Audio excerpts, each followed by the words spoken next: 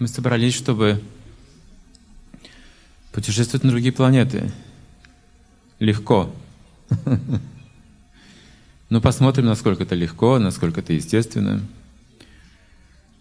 То, что у нас есть тяга к преодолению пространства, больших пространств, это естественная тяга, говорится в Ведах. То есть мы по призванию с вами мы мигрируем, мы перемещаемся. И даже сейчас вот мы сюда пришли на какое-то время, потом мы покинем это место и будем дальше передвигаться. И где бы мы ни были, мы какое-то время находимся и куда-то еще передвигаемся. Есть два вида перемещения.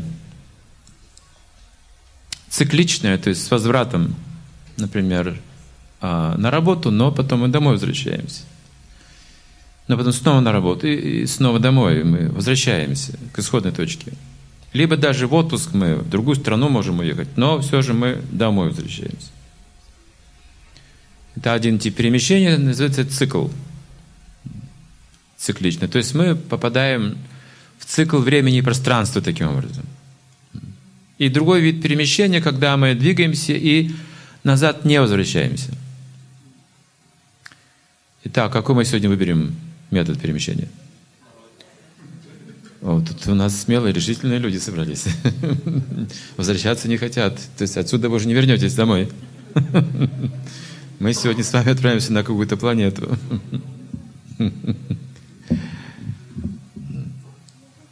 И даже ну, на этой планете мы родились, мы переместились сюда. Где-то мы были до этого. Если мы изучим природу живого существа, Авинашита тутат вити янам идам сарвам татам. Это интересные строчки из Бхагавадгиты на санскрите. Там говорится, что то, что пронизывает все тело, кто ответит на вопрос, что это такое? Что пронизывает все тело? Все тело. Что? Как мы назовем это, эту энергию?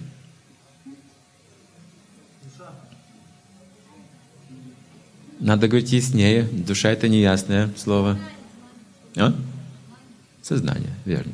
Сознание пронизывает все тело. Ясный момент. С этим все согласны? То, что пронизывает все тело, неразрушимо, говорится Бхагавадгите. Не разрушается. Вот когда мы говорим о чем-то постоянном, неразрушимом, у нас могут возникнуть сомнения, потому что в материальном опыте мы не наблюдаем такого феномена – все подвержено разрушению. Совершенно, абсолютно все. Любое явление, предмет, не знаю, континент, планета имеет тоже свой срок существования, говорится. Если даже мы не видим этого, мы все равно понимаем, что будет разрушено то, что создано, обязательно. Но тем не менее, с точки зрения энергии, физики утверждают, что есть закон сохранения энергии. То есть энергия неразрушима на самом деле. То, то же самое, что утверждается в, этой, в этих строчках. То есть мы видим как бы трансформацию энергии, но энергия сохраняется, закон сохранения энергии. Она не исчезает и не появляется, она существует. Есть специальное слово на санскрите, чтобы это обозначить. Сад существует. Все. Этим обозначается любая энергия. Сад существует. Но вот сколько она будет существовать в какой-то форме, в каком-то состоянии, это другой вопрос. Какое время? С точки зрения времени и пространства у нас как бы есть свои оценки, свои оценки этого всего. Итак, трансформируется материальная энергия. Мы это наблюдаем. Это факт, хорошо. Теперь давайте рассмотрим. А почему трансформируется? Есть ответ на этот вопрос? Кстати, ученые ставят вопрос, пока не знают ответа. Вот есть какие-то стихии, в конце концов, все это одна энергия, разделенная на стихии, на различные состояния, различные качества. Но суть одна. И почему одна часть материи становится воздухом, другая часть материи становится землей? Вопрос. То есть субстанция одна и та же. Суть ее одна и та же. Почему а, одна материя в газообразном состоянии, другая в твердом состоянии, другая в кристаллическом, третья в жидком? Есть еще комбинации и смешения всевозможные. Потому что если вы способны уничтожить элементы земли, воздуха, эфира или воды, расщепить, то это будет одна субстанция. Это доказано. Ядерный взрыв доказал это. Полное сгорание. И все. И вот перед вами было многотонное дерево, осталось горстка пепла. Аннигиляция еще есть такой термин научный. Уничтожение. Сворачивается. Так вот, существует ли обратный процесс? Как можно разрушить они? Можно ли создать из ничего, вот в ничто куда-то как будто бы уходит, да, в тепло, в свет, в излучение какие-то. А можно же из этих излучений света, тепла создать какую-то форму? Можно?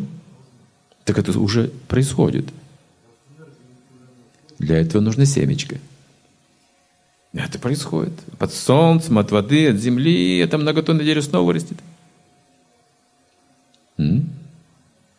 Вы думали об этом? Для этого нужно семечко. В семечке есть эта энергия, которая синтезирует, создает это все. Взращивает так же, как в этом теле есть такое же семечко. Мы из семечка взрастили это э, тело. Такой же метод. А энергия пришла из земли, из воды, из солнца, вот из этих окружающих стихий, которые то разрушаются, то восстанавливаются, то разрушаются, то называется реинкарнация, самсара, замкнутый цикл. Мы возвращаемся в то или иное состояние. Например, родившийся умрет, умеешь родиться снова, говорится.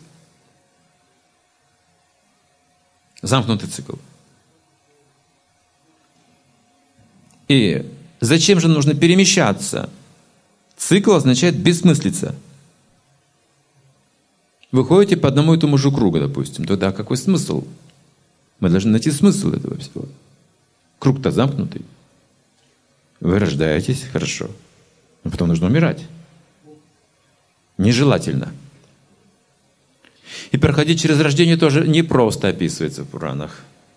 Мы забыли это, но это непростая вещь.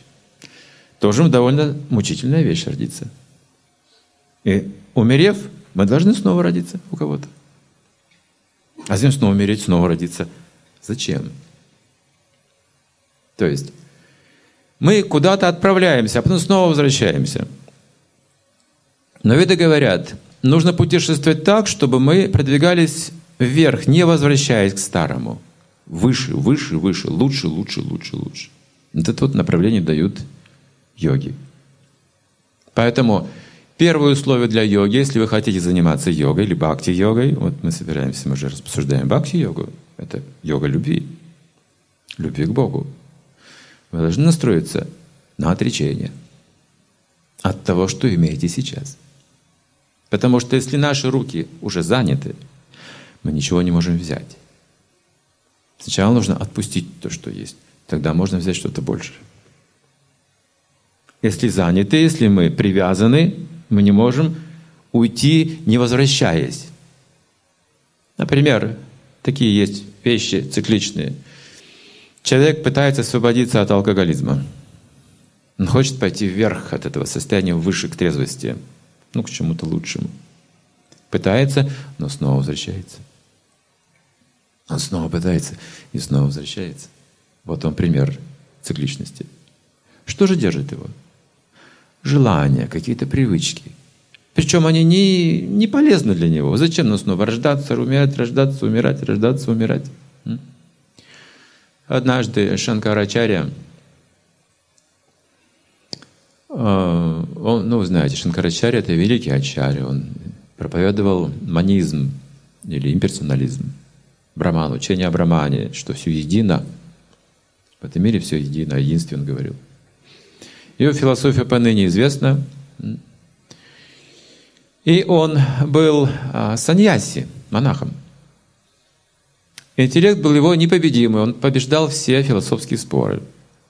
Разбил буддизм полностью. Из Индии он его вытеснил, буддизм, Шанкарачарья. Если буддизм утверждает шуньяваду, значит, нирвана — это значит вы в пустоту, шунья, после смерти, после освобождения попадаете в пустоту, шунью, ничего там нет, то Шанкара сказал, не пустота, а браман, единая духовная энергия вселенская — и он тут доказал. У него было очень много оппонентов, которые пытались победить его, но не могли. И завистники тоже. Один из таких людей думал, как же все-таки победить Шанкарачарью. Его интеллект непревзойденный. Я не смогу при помощи интеллекта это сделать. Но он был хитроумным человеком. И он придумал, как это можно сделать. И он бросил ему вызов. Вступить в спор. Шанкарачарья пришел, явился на этот спор. И этот человек предложил тему. Будем говорить о взаимоотношениях мужчины и женщины. Он понимал, что Шанкарачарья монах.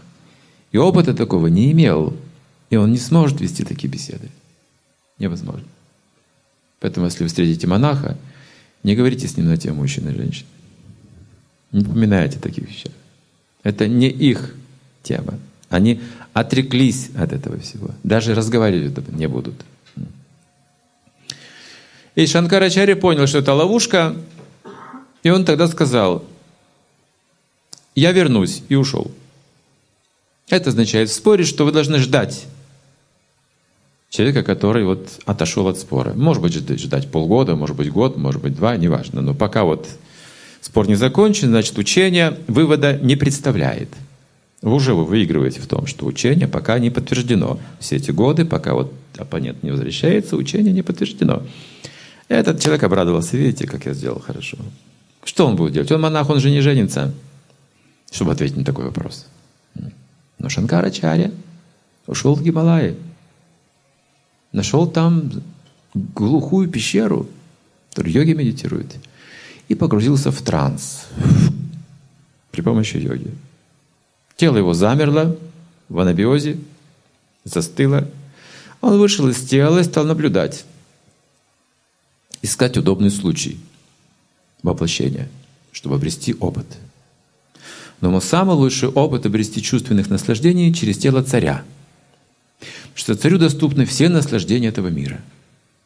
И тут как раз в одном царстве царь умирал. Он лежал на смертном одре, стонал уже даже говорить не мог. И врач уже там пульс трогал, говорит, ну, последние минуты наш царь уходит. Тут свита, министры, тут родственники, все плачут, провожают его. Вдруг в какой-то момент царь внезапно ожил, встряхнулся, посмотрел на всех, сел бодро, сказал, так, на чем остановились? Министры, советники, пожалуйста, напомните мне государственные дела. И приступил к работе. Один-то был министр первый, советник, очень умный. Ну, странно, подумал он. Ну ладно, посмотрим, что будет дальше.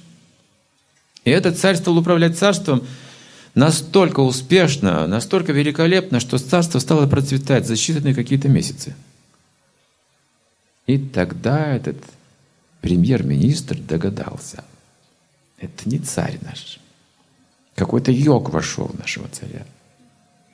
С каким-то смыслом. Наверняка он хочет обрести какой-то опыт через жизнь этого царя.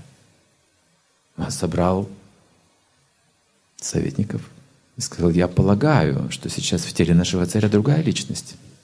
Тот царь давно умер, не был таким. Он был глупым, он все царство привел к разрушению. А этот управляет идеально. Поэтому идите в Гималаи, ищите пещеру. Вы должны найти там йога и сжечь его тело. Пусть он в теле нашего царя продолжит управлять дальше. Пусть царство процветает. И эти советники, они собрали людей и разослали их по этим местам известным в Гималаях, нашли тело Шанкарачари, соорудили костер и бросили его в пламя. И тут Шанкарачари в теле царя почувствовал что-то странное. Это беспокойство какое-то. А, и он стал догадываться, что-то там с моим телом. А царь время принимал какие-то решения, он там что-то там делал, и вдруг оп! И замертво. Мгновенная смерть, остановка сердца.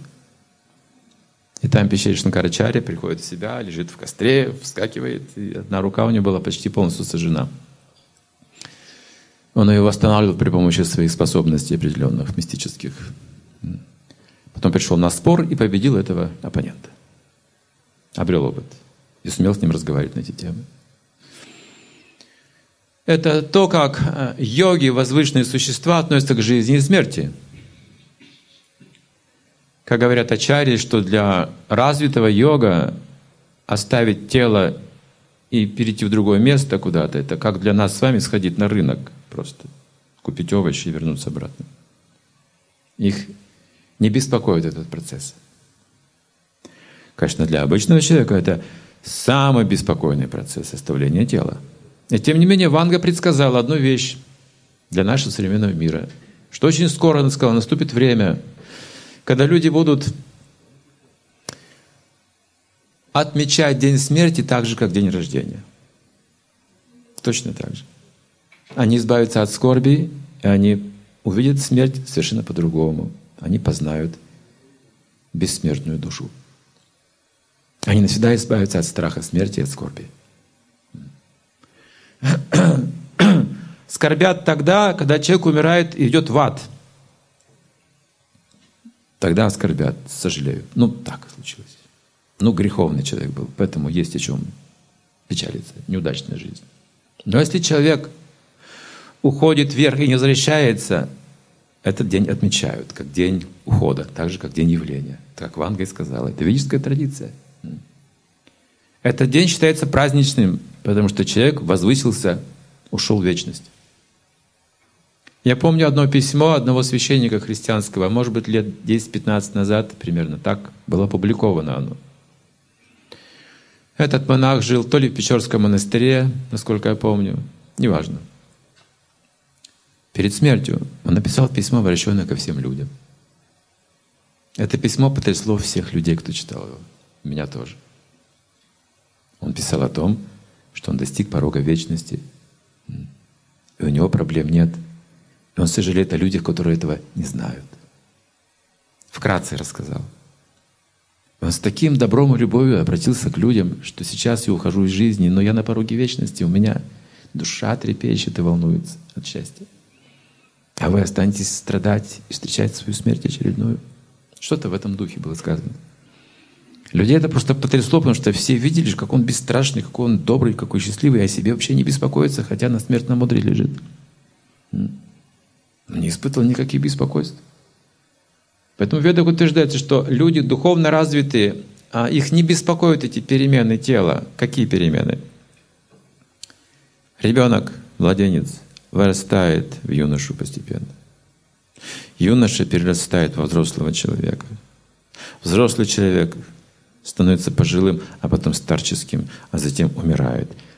Смерть и смена тела юношеского на взрослое — это одно и то же —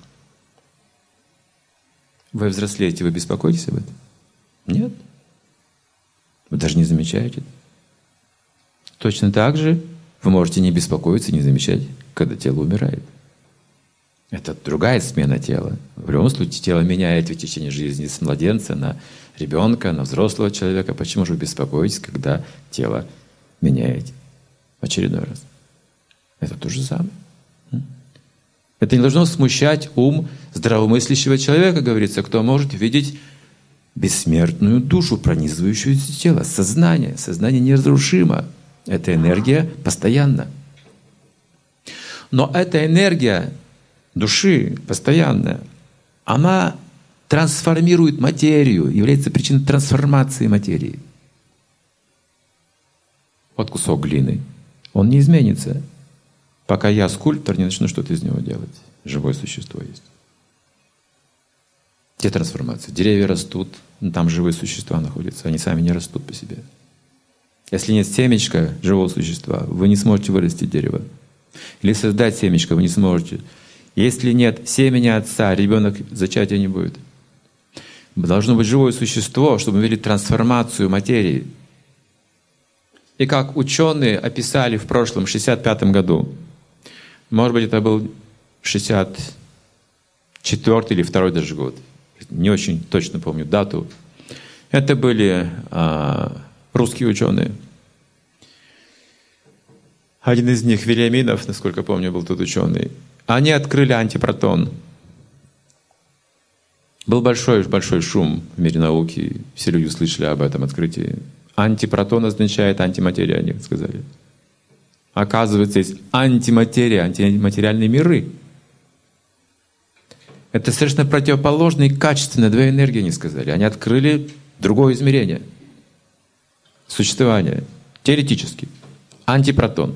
Он был открыт, утвержден. Он существует небольшое количество времени, что соприкасаясь с протоном, с материей, анти и материя, они уничтожают друг друга. И вот тогда люди забеспокоились через ученых, а вдруг эти, эти материальные миры столкнутся, и тогда конец, полная аннигиляция. Они не существуют вместе. И Шила Прабхупада разъяснил эту идею, развеял все страхи на основании вет. Он взял эту идею открытия ученых и написал книгу «Легкое путешествие на другие планеты». Это первая книга, которую я прочитал у него. И он сказал, антиматерия существует, это правда – но не та, о которой думают ученые. Это не антипротон. Они нашли материю с противоположным зарядом просто. Но это все еще материя. Потому что антиматерия — это дух. Он существует. Без него не поддерживается ни одна форма жизни. Он всегда существует. И аннигиляция происходит только с одной стороны. Разрушается в этом контакте только материальная энергия — Едва появившись, она стремится к разрушению, к распаду. Потому что ее изнашивает активный дух, материя пассивна. Материя — это определенный запас энергии. Какой предмет не взяли, это определенный фрагмент энергии, фрагмент энергии. Например, кусок дерева сожгли, энергия кончилась, все, кончилась. Энергия вышла достаточно. Если бы мы видели, куда она вышла, когда пошла, и куда она, как она возвращается, вы увидели, что просто есть цикл Ис... Иссякания не происходит. Переход происходит из одной формы энергии в другую энергию. Не иссякает энергия, трансформируется энергия. И причина трансформации — душа. Вы едите пищу, и вы перевариваете, трансформируете в другой вид энергии, пользуетесь ей. Вот что происходит. Все живые существа принимают какую-то энергию, чтобы создавать свою энергию, которой не пользуются. Как? Где взять силы? Источник энергии. Берете пищу, съедаете и превращаете ее в свою энергию. Вот и все. Правда, вы не знаете, как это делаете. Это происходит это автоматически. Но это факт, что при помощи живого существа материя это не делает сама. И даже живое существо не делает это сама. Послушайте сейчас очень внимательно. Сейчас будет сложный момент очень. Очень важный момент. Посмотрите. Дух, живое существо, сознание. Его можно еще описать как желание. Мертвое не имеет желаний. Живое существо характеризуется желаниями. Это энергия. Желание — это энергия. Вы согласны, что желание — это энергия? А сильная энергия. Очень сильная энергия. Веда говорится, что весь мир покоится на желании именно. Это с этого все начинается.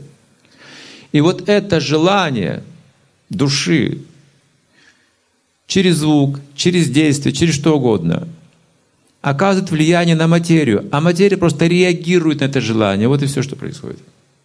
Материя — это устройство, это тип энергии, который реагирует на ваши поступки и желания. Вот и все. Но вы не знаете, как оно устроено. Она устроена не нами. Мы берем это тело, рождаемся, и оно реагирует на наши желания, смотрите. Но мы не устраивали это. Это устраивает материальная природа в соответствии с нашим желанием. Вы понимаете, что происходит? Желание. Например, вы поете песни, а вода рядом с вами меняет структуру. Материя трансформируется от ваших желаний, от вашего настроения. Ученые сделали одно потрясающее открытие, которое завело в тупик всю материальную науку. Они дальше не знают, что делать. Знаете, в чем заключается это открытие? А оно не новое уже, достаточно не новое. Они изучали солнечный свет и пришли к интересному выводу. Они доказали это уже многими экспериментами. Что солнечный свет ведет себя по-разному в зависимости от того, наблюдаете вы за ним или не наблюдаете, или как наблюдаете. Он меняет свои качества. Если вы наблюдаете за ним, он ведет себя по-другому, как если бы вы не наблюдали за ним. И смотря в каком вы настроении, он ответит вам соответствующим образом. Он ведет себя как живое существо. Солнечный свет. Эксперименты физиков. Многолетние. Утвержденные, они не понимают, что делать дальше с этим. Как изучать вообще этот мир. Как только вы под наблюдение ставите этот мир, он меняется, он не такой, он другим становится. Вы заметили, что мы с вами точно такие же. Если наблюдать, мы совершенно все по-другому ведем. Совсем не так, если бы не наблюдали за нами. И также, если вы в определенном настроении ко мне обращаетесь, я с, этой, с этим настроением отвечаю вам. Не так ли? И солнечный свет, который вот является источником развития материи, имеет ту же самую природу. То есть, что это говорится? Что материя – это скрытый дух, это та же энергия в другом качестве.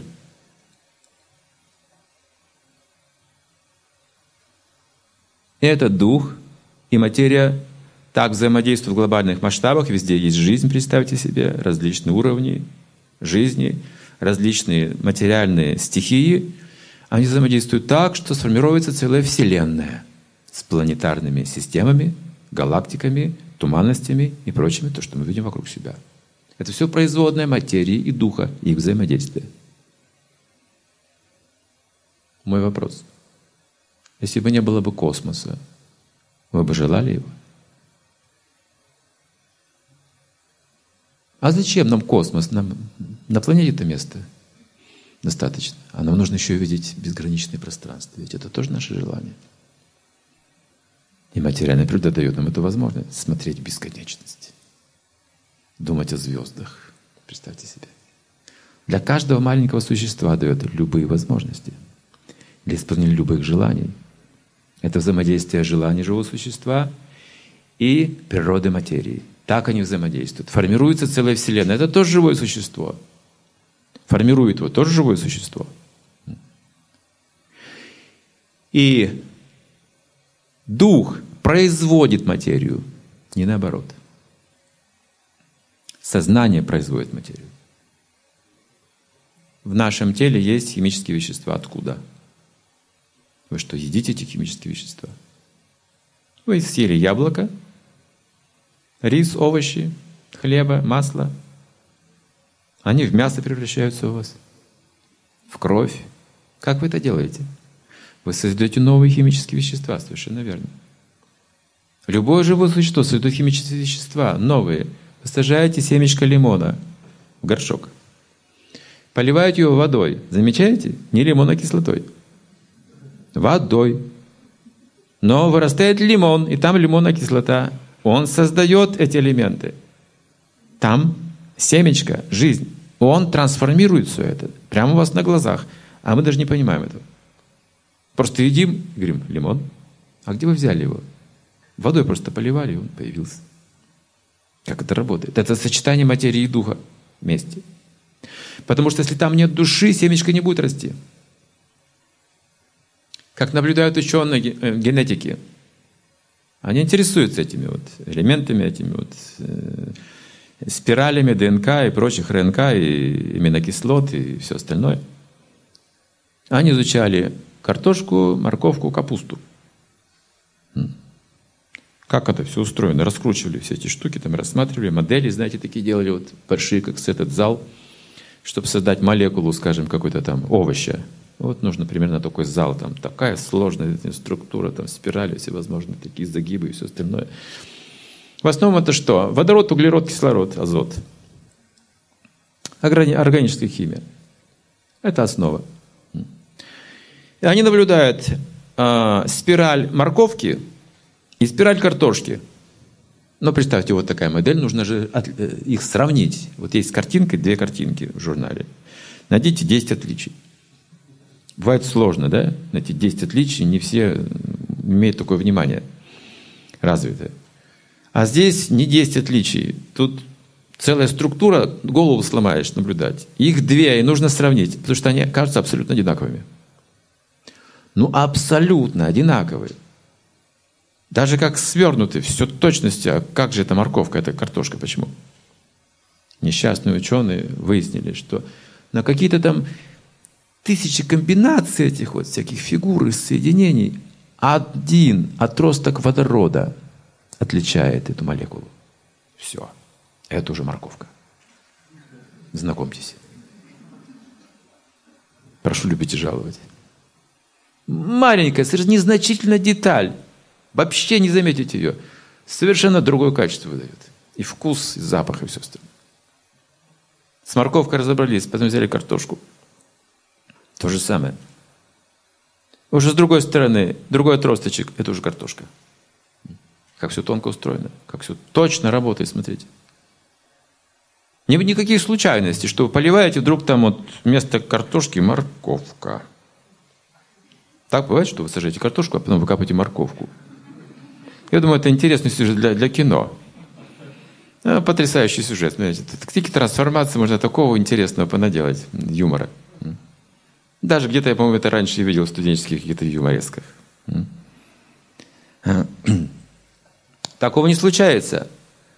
И с другой стороны, при всех наших технологиях, развитых, фантастических, вы не можете создать вот такую микросхему маленькую, бросить в землю, полить водой, чтобы вырос компьютер Тошиба потом. Мы не способны на такое? Нет. Там нет жизни. Жизнь нужна. Жизнь — это желание — это желание взаимодействует с материей. И материя реагирует на ваши желания. И это называется структура материальная. А вы даже не знаете, как это работает, потому что устройство это не наше. Устройство сверхразума, говорится в Ведах. То есть мы с вами в мире не созданном нами. Это факт. И тело мы принимаем в соответствии с желаниями, но создаем не мы его, мы создаем желания, а тело нам предоставляет в соответствии с желаемым материальная природа – вот мы пришли сюда, в соответствии, так как путешествуем на другие планеты. Возвышайте желание, если хотите на высшую планету.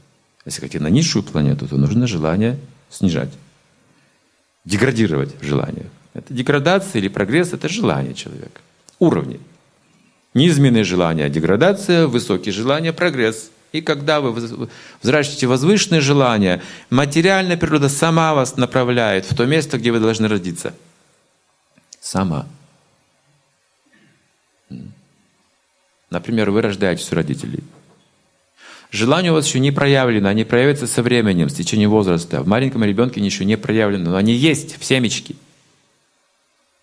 Вот это семечко уже дало какой-то плод, он вот такой младенец, его нужно еще носить на руках, он еще на ветке не оторвался, понимаете, он должен быть связан с мамой, с папой, его кормят и так далее, и все. И взращиваются его желания. И родители знают, вот ему будет 7 лет, пойдет в школу. Все для него уже готово. Он этого ничего не делал, смотрите. Он просто имел соответствующее желание, пришел в соответствующее место, где все его желания должны исполниться. Все, это предопределено. Он получил соответствующее тело его желаниям. А что делать, если желания смешанные? Это не так же просто. Пора в школу, а вот не ходит – сбегают с уроков. Вроде бы и человек учиться должен, а вот не, не учится. Склонность смешанная у него.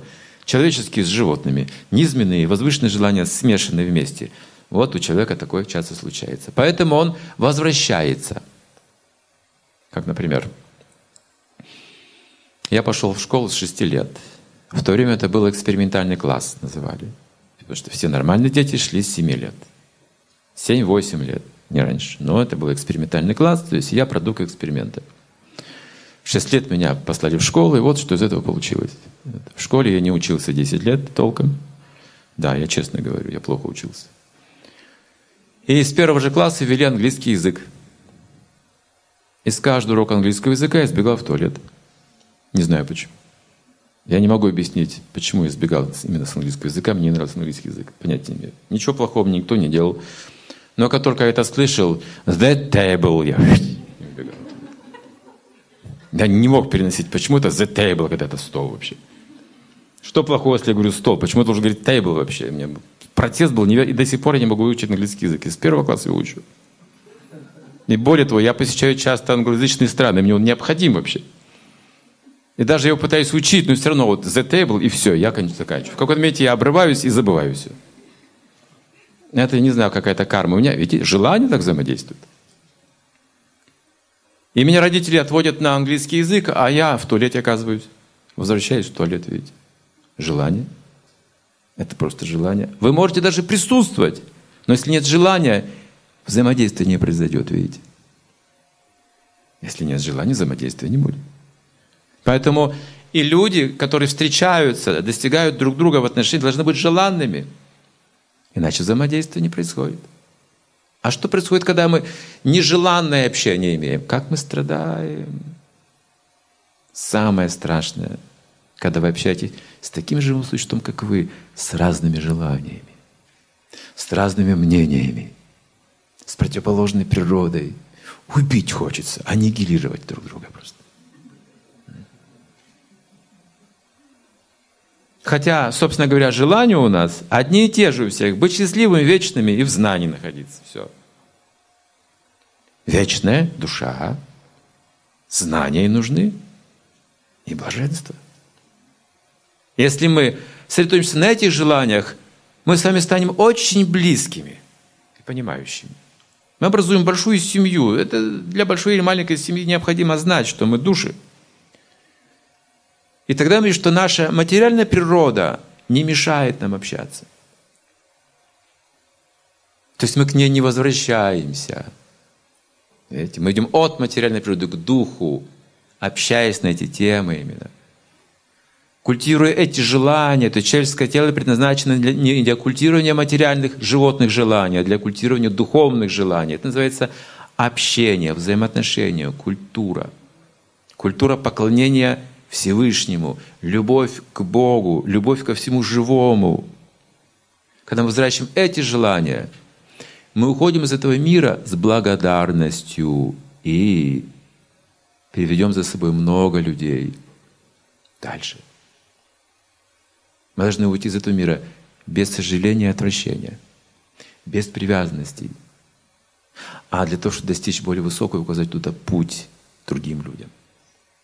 Пример – Возвращайтесь, знаете, кто возвращается? Иисус сказал, кто возвращается в собственной блемотине, это пес.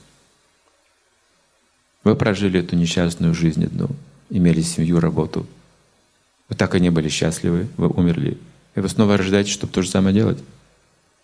Пес возвращается к своей блевотине, Иисус говорит. Вы должны идти, не возвращаясь к этим же ошибкам, к этим же страданиям. Должны идти в сторону счастья и вести за собой людей.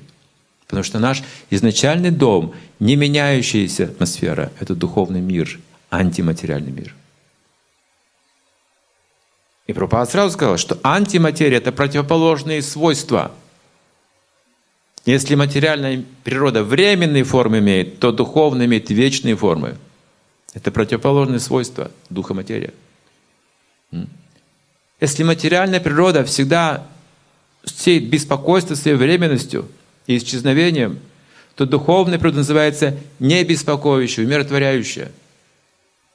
Если здесь мы испытываем с болью и страданием, то там только с счастьем мы соприкасаемся. Это противоположные качества. Единственное, что их объединяет, эти две энергии, кто знает? Кто, что объединяет эти две энергии противоположные? Как это называется? Слово мы говорили, сад, они существуют, та и другая. Не думайте, что душа не существует.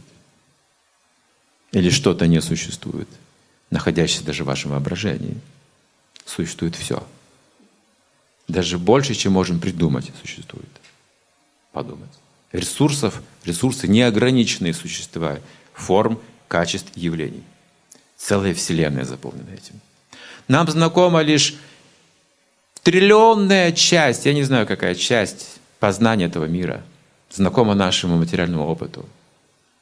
Веды говорят, дают нам дополнение к этому опыту, который мы не можем приобрести. Сколько живет Вселенная, какие планетарные системы, какая высшая планетная система.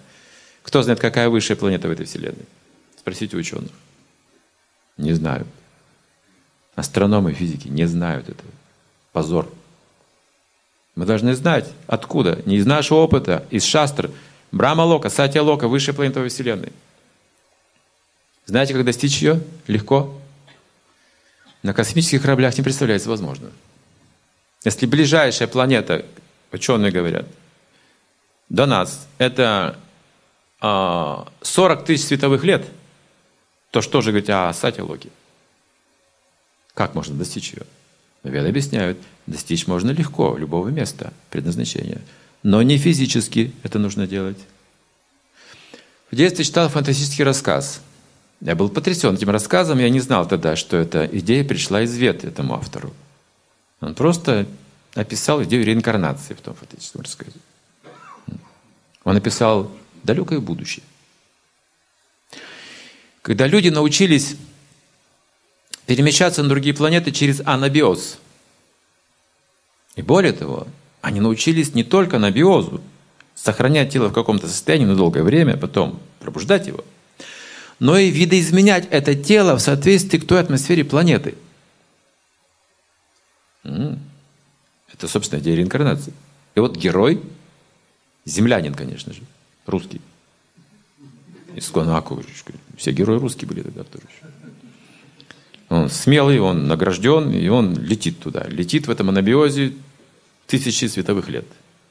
И тело его моделируется к той молекулярной среде, к той биосфере, в тело разумного ящера. Потому что там разумные ящеры живут. Но у них там несправедливость, понимаете? Там нужно делать революцию. Там эксплуатируют сильных и слабых, богатых и бедных. Ну, как обычно, как и здесь тоже. Поэтому не засылают нашего революционера туда. Экспорт. И он летит, трансформируется в этого ящера, и у него там все лучшие гены, физическая сила, разум, реакция, то есть, ну, первоклассный ящер. И выпускают туда на задание. Диверсант такой. Вы понимаете, что местные ящеры даже не подозревают об этом вмешательстве иной цивилизации. И он работает сразу на ту цивилизацию и на русских.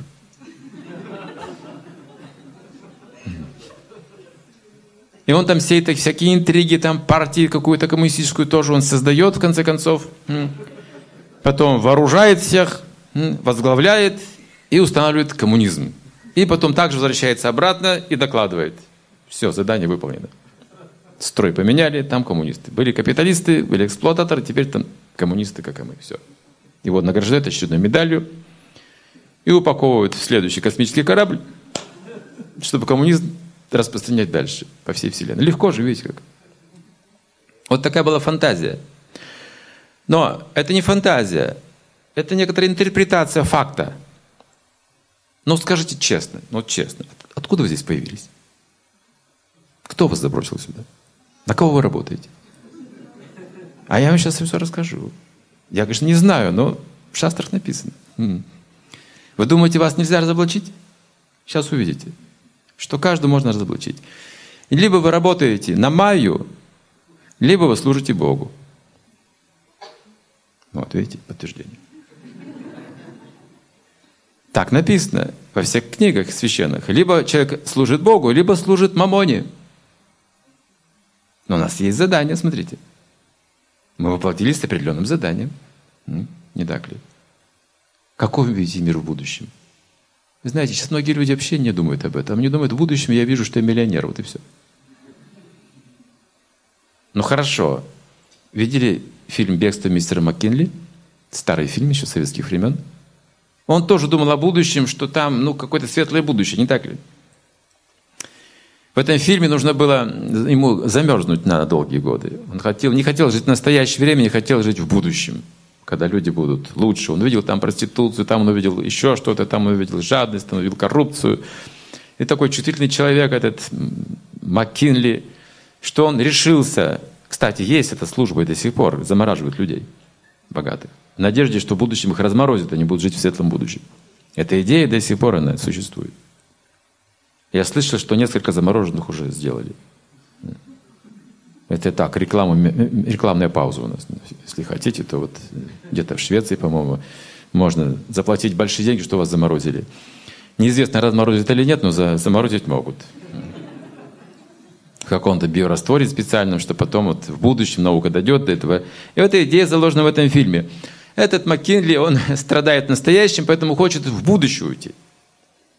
И в конце концов он сваливается на него какая-то лотерея, какие-то деньги, которые может оплатить, и он с радостью идет в это будущее его в ящик, туда в холодильник, замерзает. Через 200 лет, через 200 он просыпается. Ему выдают вещи, ключи, деньги, шляпу, костюм. Он пришел туда, в том и уходит. Лифт. На лифте поднимается, на земле пустыня. Как мы думаем о будущем? В размере своих эгоистических желаниях мы служим мамоне. Мы превращаем эту жизнь в пустыню. Эта идея тоже ведическая. Говорится, что в Кали-югу по мере деградации люди будут жить под землей. Потому что на поверхности жизнь будет невозможна. Она будет облучена ядерной энергией. Жизнь люди идут под землю. И там, в этом фильме мистера Маккинли, эта идея используется. Он выходит, там пустыня. И лифт уходит под землю, под песок. Все, вы на свободе, пожалуйста. Вы свободны. Он теряется, конечно же, не знает, что делать, и тут ядерный взрыв на горизонте появляется. И он понял, что он совершил ошибку. 200 лет он ждал счастья. Но ведь он думал-то о своем счастье. Итак, если мы хотим переместиться на другую планету, мы должны знать, о чем думают те живые существа на других планетах. Мы должны стать родственными с ними. Мы должны обрести тот же тип разума, прежде всего, что потом родиться там. Тонкое тело мы должны обрести такое же, как у них. Если мы хотим в рай, мы должны иметь райские качества, райский ум, разум соответствующий. И это тонкое тело после смерти этого тела перенесет нас в ту атмосферу рождения и условия. В соответствии с нашими желаниями природа это все организует в мгновение ока. Тут такие туннели, такие пространства, которые нужно пересечь в мгновение ока, без космических кораблей. Космические корабли не надо, не шутите эти консервные банки. Никуда вы на них не отправитесь. Если даже отправитесь, вы не сможете жить, вы будете там сидеть в этой консервной банке, просто тут смотреть на Луну и все. Вы же не сможете жить на Луне. Нужно тело менять. Земное тело не может жить на Луне. Оно также не может на Солнце, нужно другое тело. Веды это объясняют, что это разные измерения существования, различные типы тел, существует их 8 миллионов 400 тысяч форм жизни во Вселенной, их бесконечное множество возможностей. И мы сейчас приняли одну форму жизни, человеческую, для того, чтобы осмыслить свое путешествие, где я сейчас куда я иду. Для осмысления дается это тело. Животное не может осмыслить такие вопросы и обсуждать. Это тоже душа, но в теле животного нет у нее возможности. Она отбывает срок. Пока не достигнет человеческой формы жизни, человек же должен осознать, где он сейчас, и куда он идет, и как это сделать. Ям ям ваписмаран бхаван тяджаты антикаляврам там там авати каунтая садатат бава бавита. Здесь описывается принцип перемещения. Естественный. Без космических кораблей. Смаран баван. Состояние ума в момент смерти – это и есть точка отправления, куда вы идете. Точка назначения. Там вы рождаетесь. Янти дева врата дева, питри янти питри врата, будани янти будьте джа янти мат яджино апимам. Говорится то же самое подробнее. Янти дева врата дева. Поклоняешься полубогам, божественным существам, достигаешь планет этих божественных существ.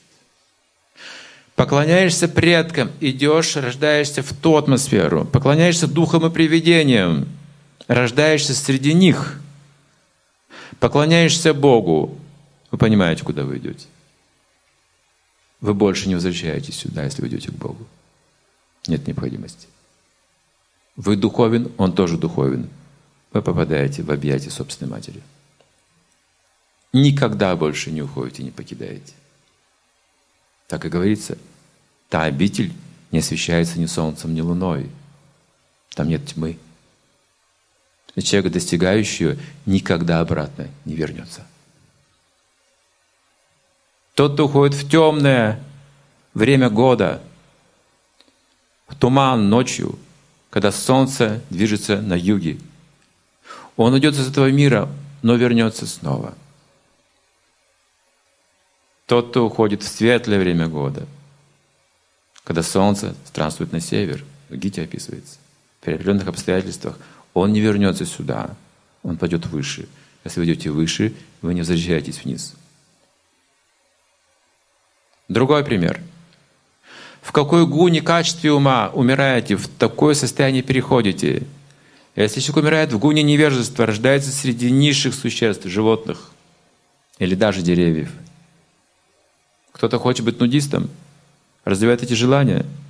Большой риск родиться деревом, стоять голым всю жизнь. Сотни лет. Нудисты закончат все таким образом. Это примеры трансформации. Желание переводит нас к определенному назначению. Если человек умирает в гуне страсти, рождается снова человеком. Потому что человек — это производная гуны страсти. Если умирает в гуне благости, идет на высшие планеты, которые описываются в священных книгах. Пойдете в рай, говорится, на высшую планету. У вас там есть дом, есть красавицы, есть наслаждение.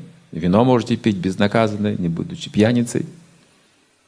Вы знаете, эта планета раньше была другой, по описанию. В Ведах описывается, как выглядела Земля в прошлом, на которой называлась Пхаратаварши и Илавритаварши еще раньше. В Сати-Югу здесь такие росли деревья, в Алмате, видимо. Это же отец яблок. Но сейчас я про яблоню расскажу. В Сати-Югу. Эта яблоня уходила в небеса. И там было много жизни на этом дереве. Животные, птицы. Даже люди жили на деревьях многие. Яблоки росли. Примерно маленькое яблоко было с этой комнату. Вообще с пятиэтажный дом примерно, по описанию. яблоки эти падали на землю иногда, срывались. Когда созревали, яблоко падает. Заметили это? А, вы это смеетесь, а вопрос-то серьезный. Например, Ньютон заметил, что яблоко падает. Был открыт закон тяготения. Но ведь он не заметил другой вещи, дорогие мои. Чего он не заметил? Что незрелые яблоки не падают. Наука наша несовершенна. Он не смог открыть другие законы, он не заметил этого явления. Подумайте об этом, пожалуйста. Это не шутка. Это научное наблюдение. Яблоко падает, факт, но только зрелое. Незрелое яблоко не падает. Поэтому закона всемирного тяготения не существует. Подумайте внимательно об этом. Есть другие законы, важнее этих вещей. И вот это яблоко, когда созревало, оно падало. И из него, оно поскольку трескалось от падения, выливался ручей яблочного сока. Несколько дней он вытекал. Эти ручьи текли повсюду, по всей планете. Ручьи яблочного сока, виноградного сока. Тут грушевый сок у вас. Тут ананас протекает. Ну, вам только стоило, вот знаете, берега молочные, берега кисельные, реки молочные. Вот это и описывается. Это не шутка. Природа была, была такая обильная, такая, такая сила жизненная была в саде югу. Даже воздух был другим. Кстати, ученые это доказали, что атмосфера миллиона лет назад была другая на планете. Как? Очень просто. Нашли янтарь, внутри которого нашли пузырек воздуха того времени. Вычислили возраст янтаря и сделали спектральный этот анализ того пузырька воздуха и увидели, что атмосфера была совершенно другая, более насыщенная. Люди в то время почти не дышали даже. Мы еще дышим, как кузнечные меха. Заметили? Может, пыхтим с вами. Особенно, если как только три шага сделаем, уже фу, фу, фу, расход жизненной силы. Видите, какой? Что воздух некачественный. Нечем дышать. Сейчас, знаете, что основная вещь, какая проблема? Недостаток кислородного голодания у большинства людей в мозге, живущих в городах. Поэтому нам трудно соображать, мы засыпаем, когда что-то слушаем серьезное. Не включается система. Нет этой энергии. Воздух слабый. Пища тоже слабая. Вы поели что? Какие-то воздушные мысли, мысли пришли к вам. Нет, вы спать сразу в тамас. Пища слабо энергетичная, она наполняет желудок, вес имеет, а силы мало дает. А в сайте йога вот такие были яблоки, и даже работать никому не приходилось. А зачем работать? Сок течет, немножко дальше протекает уже, забродит уже вино. Хотите в сати юга? Закуска, вино тут же, понимаете, рядом. Работать не нужно. Любое, любое растение дает человеку что-то полезное.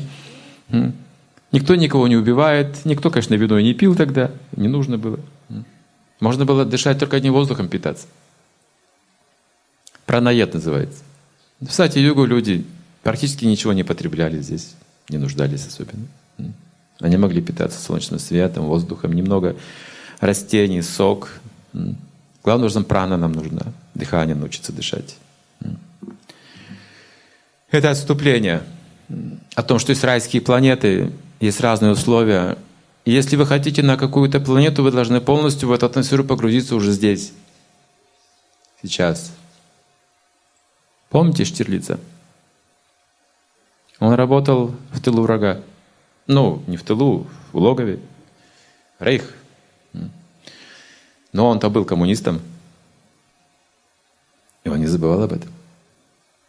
Вы тоже не забывайте, откуда вы. Что все из духовного мира. И он работал там в Рейхе, а сам тосковал по родине. А означает, что он вернется на родину. Если вы разовьете чувство разлуки со своей родиной, вы туда и вернетесь. Вы обязательно туда пойдете. Научитесь сейчас тосковать по духовному миру. Обратите любовь к Богу, чтобы чувствовать разлуку с Ним. Вот это йога. Вот это путешествие. Эта любовь вас перенесет туда, куда нужно. Как сейчас. Умирает мужчина, думает о жене. Рождается женщиной. Умирает женщина, думая о муже, рождается мужчина. Трансформация в желаниях. Совершенно верно. А бывает так, что человек не знает, кто он, мужчина или женщина. Запутался. Что делать? Что-то одно нужно выбрать, иначе будут проблемы. Из этих смешанных желаний вы можете всю свою жизнь смешать с сомнениями и проблемами. Нужно точно знать, чего вы хотите. Сосредоточено в явасвятмика будхире курунандана, то есть сосредоточь разум на одном моменте и достигнешь его обязательно. Поэтому, что говорит Кришна Бхагавадгите? Ман мана бхава мат бхактом атяджимам намаскуру, думая только обо мне, погрузи весь разум в меня, весь ум, поклоняйся, делай что-то для меня, поставь меня высшей целью, и ты придешь ко мне. То есть в течение жизни мы развиваем свою способность думать о божественном, о Боге, и туда мы переносимся. Смаран Баван. Бхава означает любовь. Как вы можете не думать о любви? Естественно, будете думать. Если вы любите Бога, конечно, будете думать днем и ночью об этом. А если даже вы любите человека, вы постоянно думаете о нем. У вас есть ребенок, вы о нем постоянно думаете. Это любовь, это связь. И точно так же, говорится, можно научиться любить Бога, зная Его форму, качество, Его окружение и характер. У Него все это есть. У Него это есть для каждого из нас. Неповторимо. Он безграничен. Как вы полюбите Бога, никто так не полюбит. У вас есть своя индивидуальная, неповторимая любовь и отношения с Ним. Феномен. И у каждого есть такой феномен в сердце. Вот это называется Бог. И поскольку Он один на всех, не может быть противоречий, разногласий в этих отношениях ни с кем. Хотя есть разные природы, разные желания, но все эти желания подчинены желанию служить Богу, поэтому противоречия нет. Это мир единства, это мир любви. Если мы достигаем любви к Богу, единство автоматически приходит в нашу жизнь в разнообразии, во всем ее разнообразии великолепии. Единство разнообразие существует одновременно.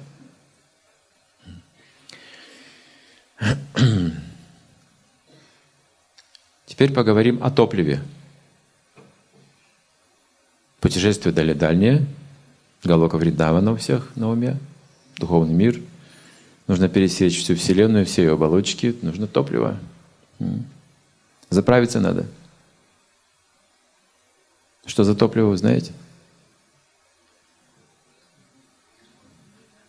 М? Нет, топливо – это Хари Кришна Махамантра. Карма, карма не поможет – Никакая хорошая карма вас не выведет в духовный мир. Только до уровня райских планет материального мира. Нам нужно идти дальше. Выше Луны и Солнца, выше Сатя Локи, выше Шивадхамы, за пределами материального творения, говорится, материальных энергий, существует антимир духовный. Вот мы с вами оттуда. Это было очень давно, не спрашивайте меня. Это никто не вспомнит, когда это было. Это слишком, слишком сложно для нас понять, как это случилось и когда. Не будем даже это обсуждать. Но суть в том, что это и есть наша истинная изначальная обитель. Мы душа, и там этот мир духовный. Масло в воде не сочетается, масло в масле сочетается. Мы масло в масле. Вы это чувствуете, когда попадаете в духовную атмосферу, говорите «моё». Это мое. Представьте, попадаете в общество, где вам завидуют. Вы говорите «не мое». На приходе, где вас любят, мое. Масло в масле, хорошо. Масло в воде, нет. Нет контакта. Итак, это самый близкий контакт – глуби, глубинный контакт, сердечный контакт, это отношение с Богом и Его окружением. Там есть очень много дружеских отношений, близких отношений. Здесь отражаются эти вещи. Немножко в материальном мире тоже есть друзья. И родители, супруги тоже есть, но там они настоящие, вечные. Здесь трансформируются наши жены и дети, постоянно трансформируются, и мы покидаем друг друга рано или поздно. Всегда будет печаль, но там никогда не происходит, чтобы друг предал друга или умер ребенок. Нет, это мир вечный. И просто повторяя Харе Кришна, Харе Кришна, Кришна, Кришна, Харе, Харе, Харе Рама, Харе Рама, Рама, Рама, Харе, Харе, мы развиваем эту любовь к Богу. Это мантра для пробуждения любви в сердце. Исключительно для этого – и вы становитесь связанным с объектом любви, с Богом. Через эти звуки, трансцендентные звуки. Этот звук очищает желание в сердце человека. Как? Просеивает вещи, лишние устраняет. То есть вы увидите, как это происходит безболезненным образом. Почему? Потому что пробуждается высший вкус духовный присутствии высшего вкуса вы просто отбрасываете сами эти лишние материальные желания. Они становятся ненужными, материальные, лишние материальные желания. Остаются здоровые желания, необходимые, все лишние уйдут, которые вам просто заполняют жизнь и не приносят никакой пользы, просто как хлам эти желания. Они уйдут от нас. Мы станем свободными, счастливыми, облегченными, чистыми энергичными, энтузиастичными, творческими. Представьте, сколько человек может сделать в таком состоянии? Что он может сделать в таком состоянии? Как он может быть несчастлив, если он наделен такими возможностями, такими богатствами внутренними? А ведь все это нужно очиститься от лишнего, от вредного, вредоносного. Хорошие вещи не отбрасывайте, плохие только отбросьте. Это Хари Кришна Маха мантра означает очищение ума, избавление от всех анартх, лишних вещей. И там, в чистом сердце, любовь пробуждается сама. Она уже есть там. Она высвобождается просто оттуда. Так же, как если сухие дрова высушиваются, вспыхивают сами, огонь есть там уже. Также у нас есть способность любить, дремлющая в сердце.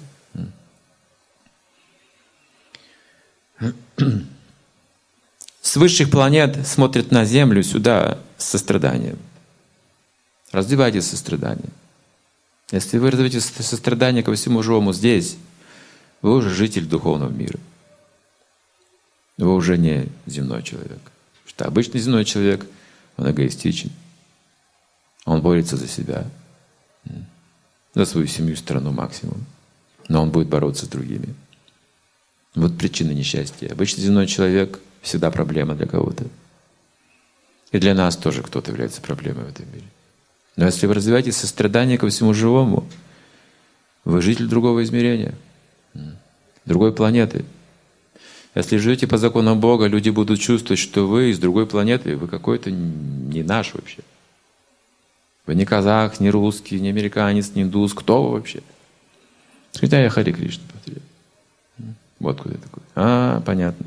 Дело конченое. Я вспомнил одну историю сегодня. Один мой знакомый преданный из Киргизии, очень давно он пришел в сознание Кришны, и он рассказал свою историю, как это с ним случилось. Он говорит, что в его поселке его знали все. Он был очень известный бард, гитарист, талантливый, писал песни. Ни одна свадьба не обходилась без него. Везде его приглашали на все свадьбы. Ну и понимаете, на всех свадьбах, конечно, он там пил и, и гулял. И говорит, очень быстро, очень быстро, говорит, я заработал себе болезнь опасную, неизлечимую от такой разгульной жизни.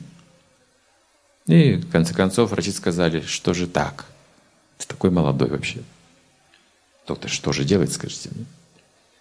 Доктор подумал и сказал, ну, я тебе думаю, рекомендую. Есть собачий жир, собачье мясо. Для тебя это будет лучшее лекарство. Я, говорит, тогда из страха перед смертью забивал собственноручно собак и съедал их, чтобы просто выжить. Я знаю, что прекратил, конечно, пить и ходить на все эти вечеринки и все остальное – но когда я забил несколько собак и съел, я увидел странную вещь. Я не ожидал такого, что все собаки этого поселка поняли, что я делаю. Где бы я ни появлялся, они смотрели на меня, щерились, они ощетинивались, они рычали, они боялись меня. Я вдруг понял, что я совершаю что-то же страшное. У меня начинала какая-то психическая проблема формироваться – я чувствовал, что я какие-то жуткие вещи творю, и мне хуже и хуже становится внутри. Дошло до того, что по ночам собаки окружали мой дом и выли всю ночь. Я, говорит, понимал, что они ко мне пришли. Они понимают, что я делаю с их собратьями. Эти собаки.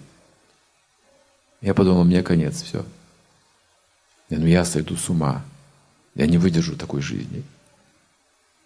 Я рассказал близкому другу о том, что со мной происходит. Говорит, только не думай, что с ума схожу. Но мне кажется, мне конец. Говорит, хорошо. Я ей скажу, что нужно делать тебе. Иди в Хари Кришна. Оттуда, конечно, уже не возвращаются, но жить будешь. Это, говорит, крайнее средство уже. Если некуда пойти, если ни доктор не помогает, никто не помогает, иди в Хари Кришна. Оттуда, конечно, ты не вернешься, я с тобой попрощаюсь, но жить будешь. Так, говорит, и случилось. Я пришел преданным в храм, жил там, регулируемо принимал просад, повторял мантру, занимался служением. И что вы чувствуете в это время?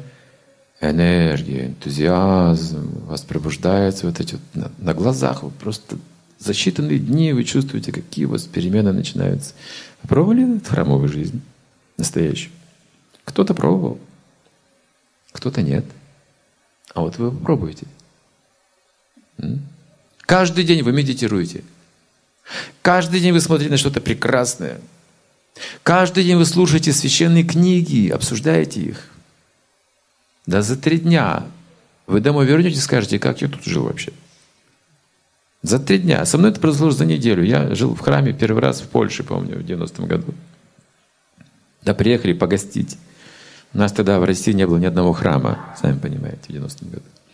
А там уже был храм. И мы пожили там всего неделю. Я был там поваром в храме. И там строго, вы в 3.30 просыпаетесь все, и, то есть там начинается омовение, потом вы идете к алтарю, медитация начинается, потом джапа, потом служение, и каждый день вы регулируемо все это делаете, заняты каждую секунду. При этом столько энергии у вас, такое счастье – Потому что никто о себе вообще ничего не говорит. Все о Боге, все связано с Богом. И затем через неделю я, нас пригласили в Вроцлав. Это было в горах. А в Вроцлав нужно ехать несколько часов на автобусе в Польшу. Нас пригласили помочь там сделать одну программу русских. Пригласили, и мы поехали помогать туда. Мы спустились с этих гор на автобусную остановку. И представьте, на автобусной остановке стоял человек какой-то. И вдруг этот человек на моих глазах достает из кармана какую-то коробочку. Там красиво что-то написано, на в таком целлофане. Открывается такая крышечка, и там торчат какие-то цилиндрики. Он вытаскивает один цилиндрик такой красивый, вставляет в рот. Я смотрю на него. И чиркает спичкой. И я думаю, что он делает? Я забыл, что я когда-то тоже это делал. За неделю жизни в храме. Я был заброшен на эту планету заново, похоже. С каким-то заданием.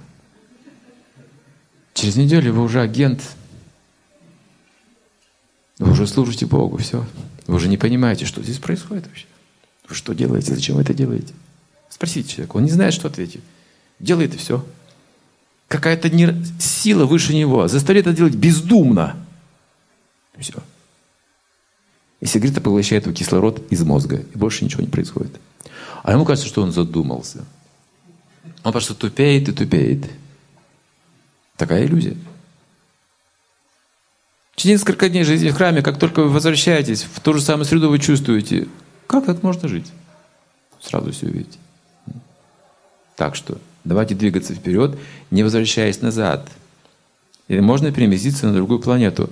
Здесь сначала в уме это нужно сделать. Получить знания, услышать и обрести это умонастроение и качество того места. А потом мы с вами достигнем этой обители в нужное время. Спасибо. Какие-то будут вопросы про легкое путешествие на другие планеты?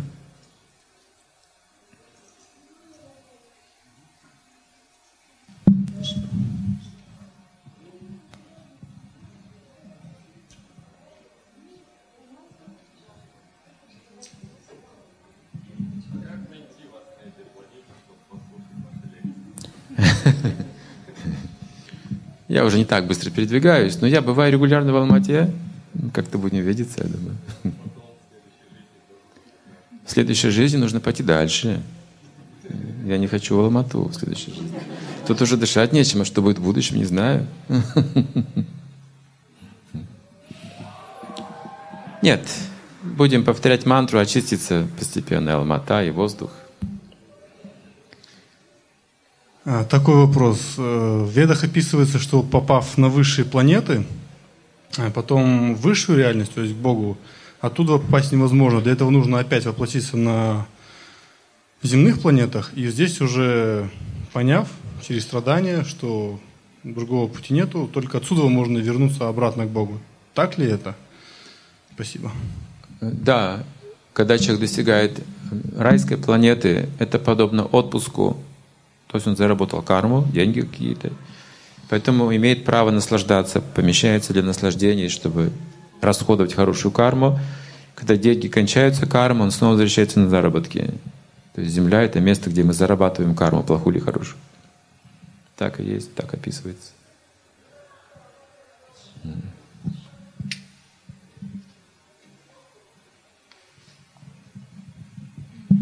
Здравствуйте.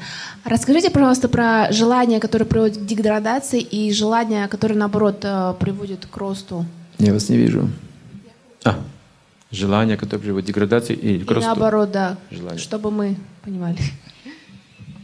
Да, можно все это свести к простой формуле. Есть желания э, эгоистические и желания альтруистические. Вот две разновидности. Все эгоистические желания приводят к деградации. И все желания совершить жертву ради других, служение Богу — это прогресс. Эти желания помогают нам возвышаться. Что мы можем дать миру? Давайте подумаем. Что мы оставим после себя? Давайте думать об этом. Что полезного мы должны сделать максимум? Самые э, развитые личности, они вообще себе ничего не присваивают в этом мире, только отдают. Все, что к ним приходит, отдают, ничего не присваивают к себе. Прежде всего, это касается знания. Все ценные знания, которые вы имеете, вы должны отдать. Это первый шаг. Поэтому, если вы что-то ценное получаете, сразу передавайте.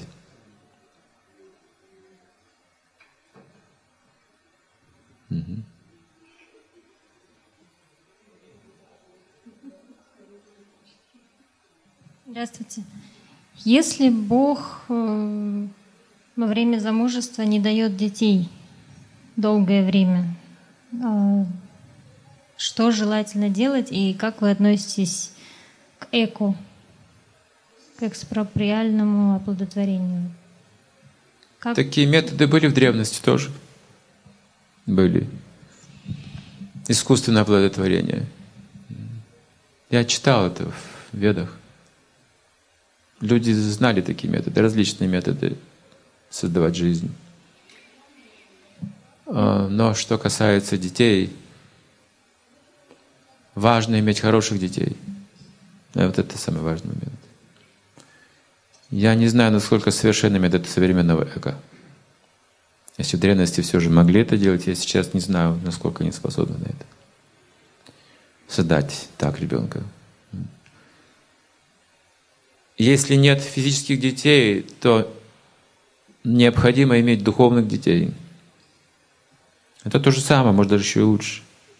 Потому что духовное родство это лучше, чем физическое родство, но нет духовной связи, допустим, нет понимания, нет отношений. И не случайно, если кто-то не имеет ребенка, не случайно, в этом тоже есть смысл определенный. Почему в этой жизни не дано иметь ребенка? Может быть, как раз это и к лучшему. Вы имеете в виду духовные дети — это усыновление и удочерение? Нет. Нет. Это когда вы передаете знания духовные. У вас появляется такая связь.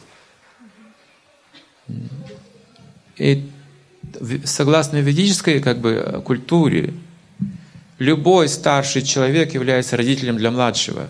Любой. То есть вы можете быть ребенком на улице, и любой старший – это ваш родитель фактически. В ведической культуре это так.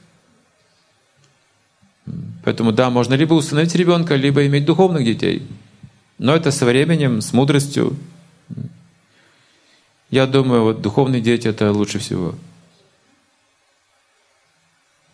Это самая большая награда в жизни, когда есть хорошие духовные дети.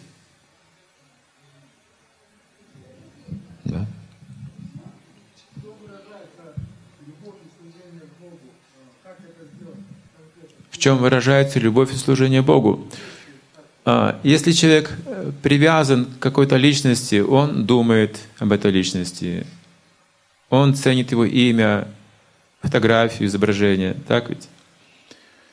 Он что-то делает для этого человека, служит. Вот так это и выражается. Если мы любим Бога, тоже выражается, что мы изображение имеем, имя Его ценим, воспеваем. Выражаем привязанность через то, что даем какие-то дары, предлагаем что-то ему. Патрам, пушпам, палам, тоям, еме, бхактя, праяч хати. То есть Кришна говорит Бхагавадгите, предложи мне цветок, плод, листок, немного воды с любовью, я приму это. Так любовь выражается. Ну, цветок предложить, пищу мы готовим, сначала мы предлагаем, мы не едим непредложенную пищу. Это все бхакти, обмен любовью. Также деятельность можно ему посвящать, любую благопристойную, конечно же, деятельность.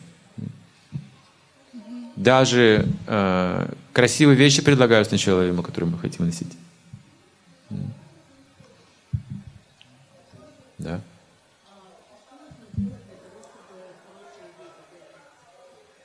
Что нужно делать? Не делать ничего плохого и все. Да, да, да. Чтобы рождались хорошие дети, мы должны прежде всего готовиться к этому аскезами, делать хорошие поступки, иметь хорошие возвышенные мысли, трансцендентные. Перед зачатием ребенка рекомендуется несколько часов провести в медитацию с супругом на святое имя или читать Священное Писание. И когда ум возвышается до этого уровня, тогда начинается ребенок. Это гарантия, что ребенок хороший родится. Добрый вечер. Здравствуйте. У меня такой вопрос. Сейчас очень часто рождаются дети с проблемой аутизма. У моей сестренки такой ребенок. Вот в чем причина, почему такие души ну, приходят, получается, и как, а что делать родителям, что этот ребенок выздоровел? Спасибо за... Это называется врожденный характер. Потому что в прошлом этот ребенок был разочарован в общении с людьми, замкнулся в себе. Вот поэтому он просто делает свои дела, аутист, вот этот ребенок. Живет своей жизнью, и вы не можете туда вмешаться, пробиться. Он закрыт, вообще не понимает, что вы хотите. А, только любовь исцеляет. Любовь. Но любовь должна быть божественной, в сердце проникнуть. Просто если будете его не, жить, это не то. В сердце проникают, когда общаются проникновенно. Означает, что вы должны обсуждать какие-то возвышенные темы, рассказывать о них, о святых, о Боге, чтобы проникало в сердце. Это лучшее лекарство от всех как бы психических проблем. Киртан – очень мощное средство также очищения. Освященная пища, просад. Ничего я в этом плохого не вижу, что ребенок немножко в себе. Я лично не вижу в этом серьезной аномалии. Может быть, даже это и к лучшему. Что плохое туда не проникнет, лишнего ничего. А хорошее, конечно же, можно дать ему. Да? Здравствуйте. А, такой вопрос. Каждый человек в этой, в этой жизни рождается с определенными изначальными данными. Кармой, э, э, ролью и так далее. Возможно ли, неважно на каком этапе он сейчас, за одну жизнь, за одно воплощение э, отработать свою всю карму, соответственно, возвыситься, достичь божественной любви и уже перейти в следующей жизни на другие планеты? Высшие миры. Спасибо. Хороший вопрос. Ну да, это было бы идеально. Вот как раз вот это и нужно сделать. Есть процессы разной интенсивности. Как говорят специалисты, есть два основных пути. Постепенный и внезапный путь развития. Внезапный путь развития не рекомендуется каждому человеку, потому что это э, стресс может быть вызвать сильный шок. Если вдруг вы увидите перед собой божественные миры, вас сочтут сумасшедшим просто внезапно, если такое случится с вами. Постепенно рекомендован. Но внезапный тоже не забывайте, потому что когда ваши дни уже сочтены, вы должны что-то сделать интенсивно. Прибегнуть как раз к этому методу, интенсивному методу. А в жизни вы должны постепенно продвигаться, выполняя материальные обязанности, заботясь о семье, как бы внешне ничего не меняя. Но когда наступает время, вы должны включить катапульту и выйти оттуда. Изучайте этот метод. Метод Киртана лучше всего готовит нас к этому. Потому что в Киртане вы начинаете входить в эту атмосферу духовную уже. Уже осознавать ее, эту атмосферу духовную. Видите, они уже осознают эту атмосферу. Сейчас мы запоем, все будет по-другому.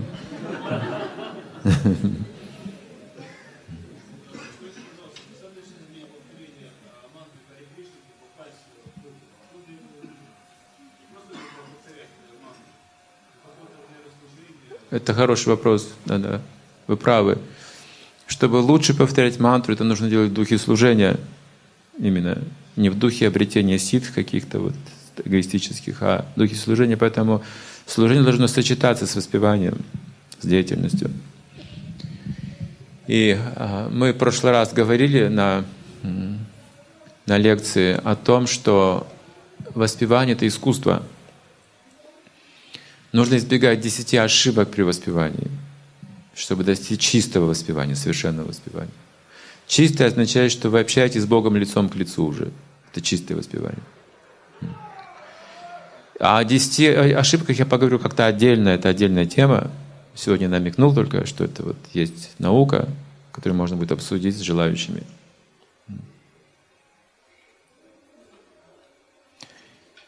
Так, еще есть вопрос? Да, пожалуйста. Добрый вечер. Вот вы сказали, кто в благости, тот переходит в благость э, ну, на другие миры, когда кто в страсти пере, пере, возвращается на землю. А вот молодых много, которые в онкологии умирают, они куда переходят? А не важно, от чего умер человек, важно, в каком он э, сознании умер, в каком качестве находился его ум, сознание. То, что молодые. Если Или, человек как- обычный, неподготовленный йогой, скажем, умирает от болезни, я думаю, что такая смерть его сильно очищает, потому что это, ну, трагичная смерть. Ну, Я думаю, что это очень мощное очищение происходит. Он рождается снова человеком, скорее всего. И куда переходят они? В какие Да миры? где-то здесь будут, неподалеку. Неподалеку. Спасибо. Здравствуйте, Э, спасибо большое. Скажите, пожалуйста, над Богом существует еще что-то, верховная личность? Или это касается только нашей Вселенной? Еще раз, еще раз. Эм, Бог – верховная личность. Он верховная личность нашей Вселенной или вообще всего, что Всего, существует? всего, что существует. Спасибо. Всего, что существует, да. А, Здравствуйте. Я хотел, э, ну, как бы поделиться и спросить вопрос. У меня, как бы, вот внутреннее большое разочарование. То есть, э, ну, как бы совершал какие-то, ну, наве- на первый взгляд, хорошие поступки, пожертвования, служение каким-то другим людям. Но когда начинаешь глубже смотреть, то есть видишь, что ты этим гордишься. То есть, э, что ты делаешь, э, это потому, что вот ты от этого поднимаешься. Ну, духовные учителя говорили, э, посве- ну, как бы говори, вся слава Кришне. И даже когда ты говоришь, то есть и в этом начинаешь видеть, что ты этим гордишься. Вот я такой замечательный, вот я все Кришне посвятил это. То есть даже когда начинаешь эскетировать, ну, грубо говоря, там ничего у тебя нету, кроме дерева, и этим начинаешь гордиться. Вот я такой аскет. То есть как на самом деле стать вот по-настоящему чистым? Уйти от вот этого, как бы сказать, э, когда ты одеяло к себе тянешь. То есть даже от- отказываясь от материального, то есть это все равно какая-то фальшь. И вот в этом большое разочарование. Что вы могли бы посоветовать? Что делать все-таки? Хороший вопрос. Спасибо. Я, я тоже об этом э, думаю. Каждый об этом думает, как сохранять смирение, как не гордиться какими-то достижениями. Гордиться можно чем угодно, даже возрастом можно гордиться, что я старше других. Чем угодно. Всякой ерундой. Ага. Поэтому веды рекомендуют общаться с более духовно продвинутыми людьми, чем мы, в присутствии которых невозможно возгордиться. То есть это как бы главный момент. Например, у меня есть духовный учитель. Связь такова, что ученик постоянно думает о нем. Постоянно. Это определенный как бы, уровень сознания. Когда мы принимаем духовного учителя, связь постоянно возникает. И присутствие этого сознания духовного учителя, я не могу возгордиться, когда думаю о нем.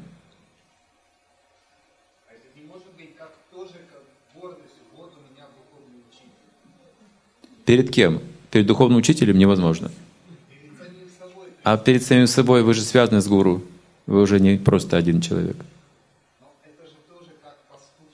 Это- да, но это же связь.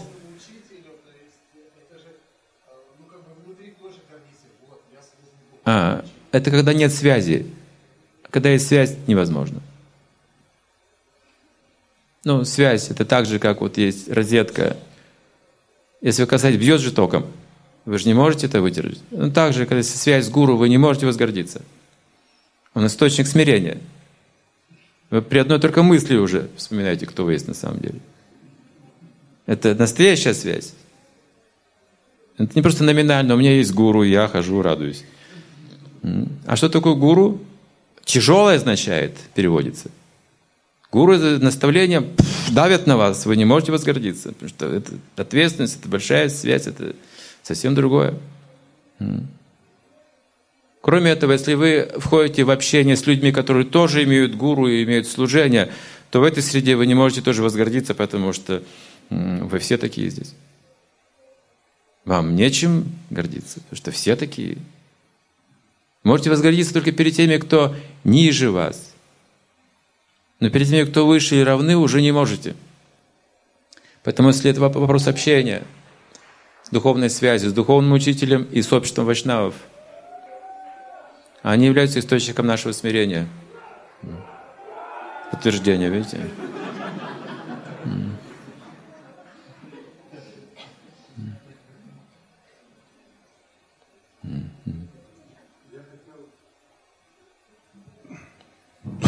Я хотел спросить по поводу поиска духовного учителя. То есть есть внутри большое желание а, быть с учителем, с наставником, который все время будет наставлять, э, помогать решать какие-то вопросы материальные, ну, от, отчуждения от материального, так скажем.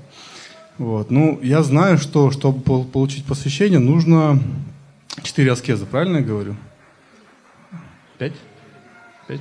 А, четыре. Четыре принципа. Вот, да. И самый такой основной, это в супружестве даже отречение от платонических отношений с женой. Вот. Но жена сильно противится этому. Но я понимаю, что я тоже там не супер йог. Есть такие моменты. Вот. И как к этому можно подготовить супругу, ну и, соответственно, себя, чтобы выйти на эти высокие отношения, как бы получить посвящение? Вот такой вопрос. Спасибо. Хороший вопрос, актуальный вопрос, распространенная тема для семейных людей, как практиковать эти вот принципы, регулирующие в семье. Их четыре. Это отказ от мяса, рыбы яиц для посвящения, от всех интоксикаций, от азартных игр, денежных махинаций и незаконного секса. Четыре. А смысл в том, чтобы когда люди думают, что вы у них что-то отнимаете, они себя плохо чувствуют – но когда вы даете что-то взамен лучшее, они с радостью принимают это.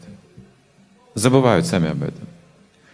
Поэтому я не думаю, что в данном случае мы можем сразу этот принцип применить к человеку, который еще духовно не знаком с практикой. У него будет плохое чувство, что либо от меня отказываются, либо мной пренебрегают, либо ну, он почувствует себя плохо очень.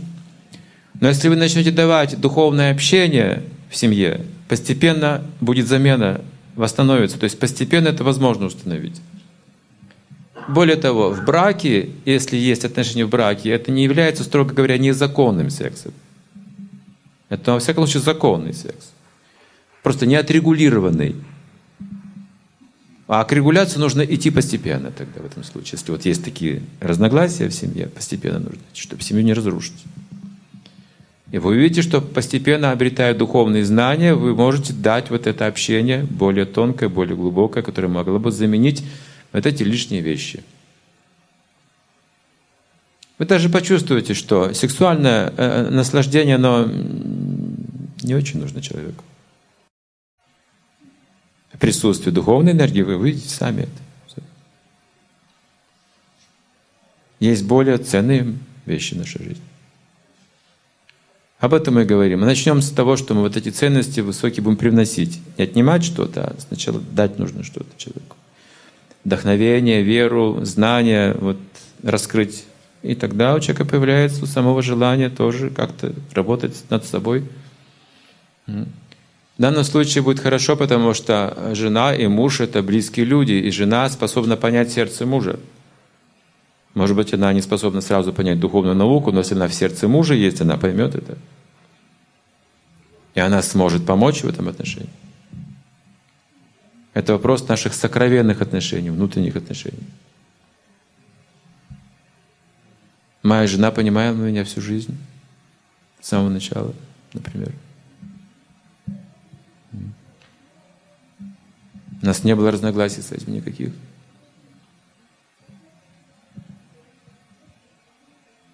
Да, пожалуйста.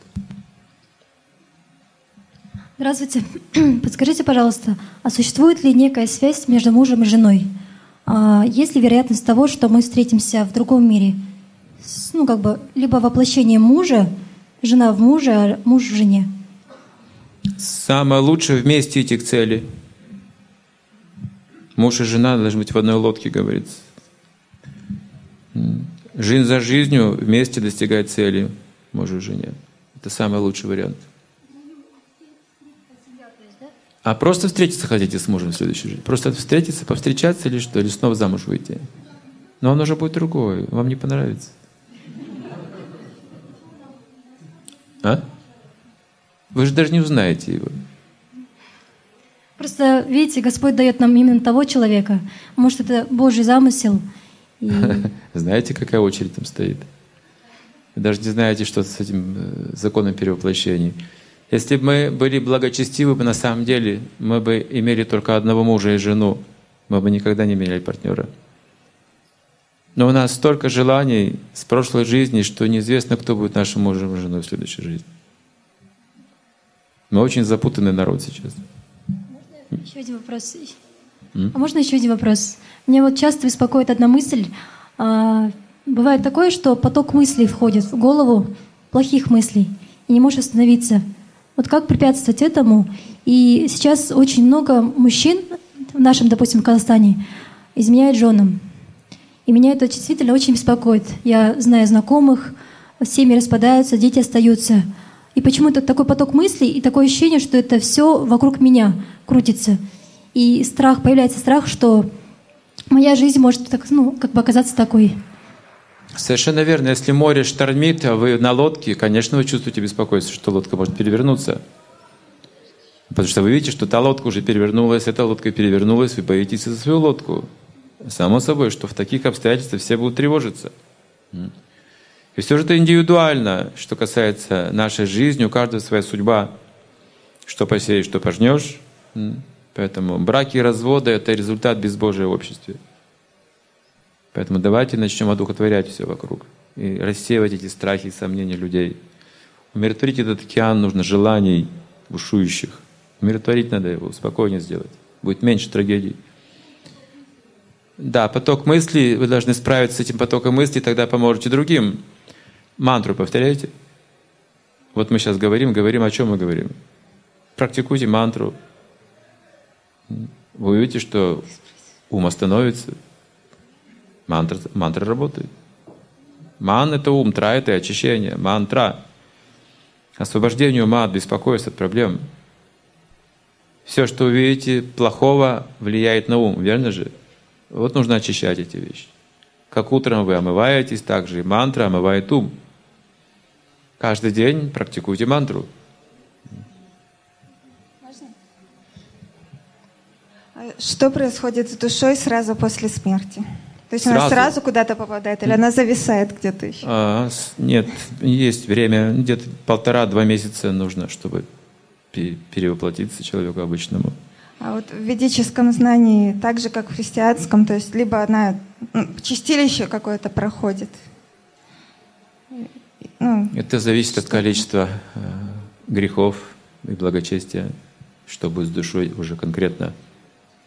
Например, если человек оканчивает жить самоубийством, то он не воплощается долгое время, остается в теле духа или привидения, сильно страдает.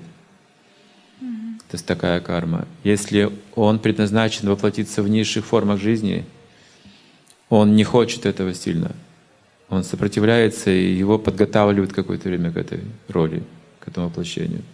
Приучают. Тоже занимает какое-то более долгое время. А где это происходит? Ну, там все устроено уже. Так как же вы в город, в городе рождаетесь, живете, все же уже устроено. Где конкретно, в каком месте – но у всех по-разному. Есть места недалеко от земли, здесь существуют. Есть под землей места, которые существуют, чтобы готовить к этому. Есть промежуточные такие базы. Тут все уже устроено. Еще вот вы говорили, что душа попадает на низшие планеты, либо на высшие планеты, либо если человек молится полубогам, то есть это получается планеты нашей Солнечной системы, то есть он попадает либо на планеты нашей Солнечной системы, или это что-то я не то я поняла? Не, не существует Солнечной системы. Существует 14 уровней Вселенной. Надо, в общем, изучать просто все это. Да? Ну, современная астрономия неправильно описывает устройство космоса. Она видит просто бесчисленными ряды звезд и не знает, как это классифицировать. Слишком сложная картина и видит только э, Солнце, Землю, Меркурий, Юпитер до Плутона. Все. Называет это Солнечной системой. Но Солнце одно во Вселенной. Так же, как одна душа в теле находится, атомарная душа на все тело поддерживает. Также одно Солнце поддерживает всю Вселенную. Они думают о Солнечной системе. Да.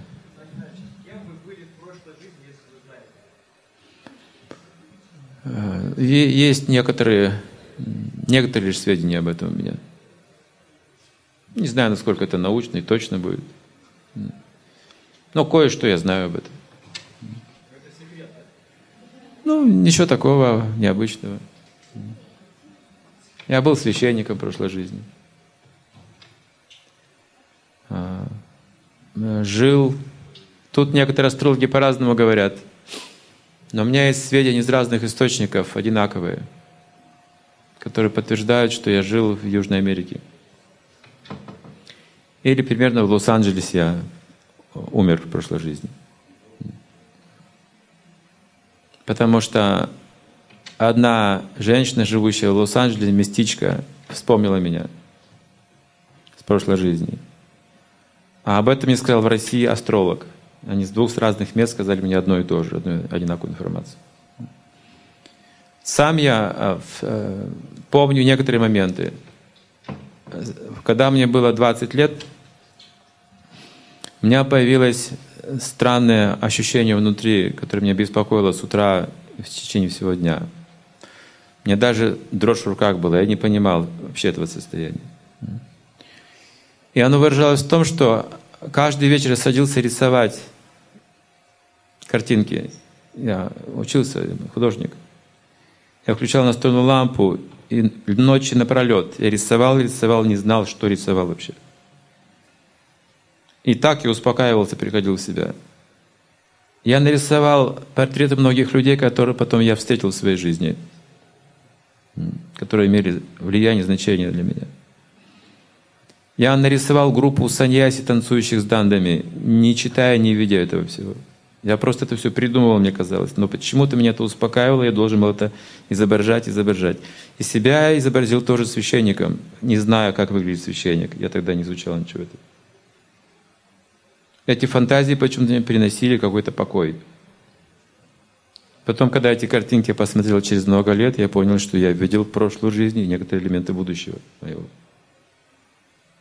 А потом это кончилось. Прошло. А, также я писал стихи, которые не мог понять, и никто не мог понять.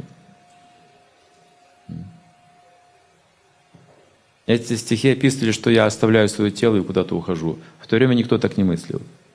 Я об этом не читал. То есть какая-то память была тонкая, оставалась, и также я же искал это жизнь после смерти. У меня тоже это было уже почему-то. Уверенность, что есть жизнь после смерти. И были опыты многих выходов из тела. В 25 лет это началось.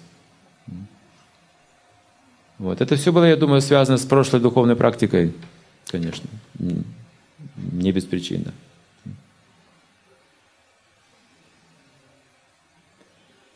Поскольку при меня спросили, вот я тут наговорил всякой всячины, ненаучно. Скажите, пожалуйста, явное ощущение дежавю. М? Явное ощущение дежавю. У вас? Ну да, и не только у меня. У меня тоже бывает. Что это? Это дежавю. Так и есть. Много повторов в нашей жизни, да. Ну, оно же пока не разгадано, что это такое. Ну, вот каждый день выходите на работу, это тоже дежавю. Циклы. Ну, то, что с человеком не происходило вообще. Нет, это просто происходило. В этой жизни. Он забыл, да, просто забыл. Это происходило уже много раз. Нас с вами хоронили на всех кладбищах мира уже. Это дежавю. Это происходит постоянно прямо сейчас. Солнце всходит, восходит каждый день. Дежавю. Циклы. Мы сталкиваемся с циклами. Мы не, не думайте, что мы какую-то новую жизнь проживаем, что-то новое проживаем. Это все уже было, было, было, было. Мы забываем. Из прошлых жизней. Прошлой жизни, да, тоже. Столько повторов. Знаете, вопрос касательно медитации, не знаю, уместен ли он здесь. Бывает, что после глубокой медитации такое состояние вне ума. да, то есть начинаются вибрации такие мощные, и ну, даже какое-то происходит некое таинство, да, и я, честно, не знаю, что с этим делать, но я пребываю в этом состоянии какое-то время, да, и понятно, потом я пробуждаюсь, какая-то деятельность начинается, много энергии и так далее, но иногда я хочу уснуть, и в момент сна, то есть сны начинаются очень такие, знаете, просто реальные. Я попадаю в какую-то реальность. Вообще, можно ли это делать или это опасно? Не рекомендую уходить в другую реальность. То есть не рекомендуете засыпать и перед сном делать медитацию? Какая медитация у вас? Хари Кришна. Хари Кришна мантра? Да. То Нормально. Есть, то есть можно, можно после уснуть, Ничего да? плохого, с вами нет плохого не случится. Да, можно спать, можно есть, что угодно можно делать. Никаких строгих правил, все хорошо будет защиты полная. Можно, да, задать вопрос? Mm-hmm. Здравствуйте, спасибо. Я хотела вот спросить о раскаивании и покаянии. Вот там в христианстве, да, это такой фундаментальный тоже как бы а, акт, и исповедь, ты раскаиваешься, но когда э, в ведической культуре я мало читала, но раньше там так что-то не то, да, сразу в лес, там в основном аскезы, ты 20 лет молишься. Но когда как человек понимает, что и может ли он в этой жизни освободиться от грехов, ну, этой же жизни, которую он уже совершал. Или он должен уже как бы всю жизнь до конца помнить, что ты их совершил, и всегда молиться? Или приходит какой-то момент очищения? Спасибо. Спасибо. Освободиться от грехов не так сложно, говорится в Писаниях. Это не трудное дело. Нет такого количества греха, которое бы не разрушило святое имя. И даже если ты самый, самый грешный из всех грешников, Гите говорится, если ты поднялся на корабль трансцендентного знания, ты пересечешь океан неведения. Грехи не помешают тебе. Наоборот даже, если ты осознаешь свой грех, ты еще больше предашься Богу. Но проблема не в этом. Проблема в том, что мы не можем остановить греховную деятельность. Грехи прошлого несложно смыть. Покаяние – все, достаточно этого. Одного хорошего покаяния – но дело в том, что люди снова идут грешить. Вот в чем проблема. Вот об этом сейчас нужно подумать. Тогда в Бхагавата Пуране описывается, вопрос задается. Какой смысл в покаянии, если человек снова идет совершать грех? Это то же самое, как слон моется в реке, а потом выходит на берег и берет песок, обсыпается с ног до головы. Омовение слона называется. Какой же смысл в таком омовении? И ответ мудреца таков – что истинное покаяние, истинное очищение тогда, когда человек уже не желает грешить. Вот с этим нужно работать. Вот с этими желаниями греха. Поэтому мы говорим, развивайте желание служить Богу. Развивайте духовные желания. Живите для, ради служения, ради других. Постепенно мы сможем избавиться от всех этих эгоистичных желаний – Потому что желание служить, оно естественное нашей природе. Ну как вы можете прибавить себе росту хотя бы на локоть, говорится? Зачем вы думаете о себе? Как вы можете стать красивее или разумнее сами по себе? Но если вы украшаете оригинал, говорится, отражение автоматически украсится. Оригинал – это Бог. Если предлагаете ему все самое лучшее, вы автоматически обретаете эту красоту, эту чистоту. Поэтому, если вы призваны служить Богу, покаяние уже есть в этом. Истинное покаяние, когда вы начинаете служение Богу, а не снова возвращаетесь к служению чувствам и желаниям своим. Поэтому после покаяния ожидается, что человек свою жизнь посвящает служению Богу. Это считается полное очищение, полное покаяние, законченное.